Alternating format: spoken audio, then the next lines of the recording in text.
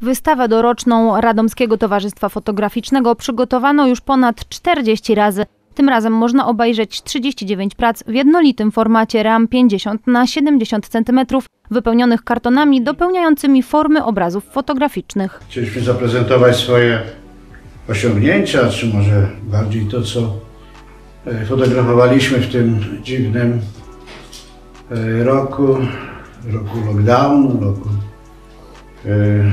nadmiernego przebywania w zamknięciu.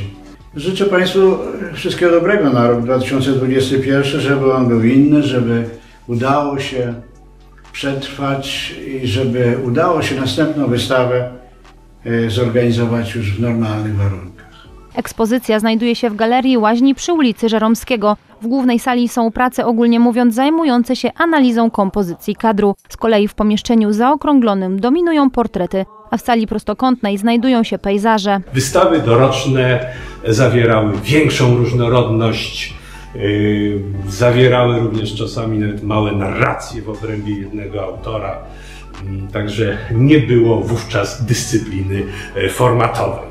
W tym roku RTF obchodzi 60-lecie działalności. Działacze stowarzyszenia zamierzają odpowiednio uczcić to wydarzenie. Ale to nie wszystko, co planujemy w 2021 roku. To rok jubileuszowy.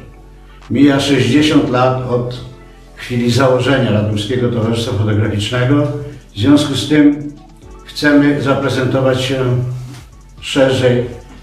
Chcemy pokazać to, co działo się w ciągu tych 60 lat w fotografii rado- radomskiej. Działacze RTF zaplanowali szereg imprez jubileuszowych, które odbędą się między 21 a 27 maja w różnych placówkach kultury. Będą to m.in. wystawy, konkurs oraz promocje albumów fotograficznych.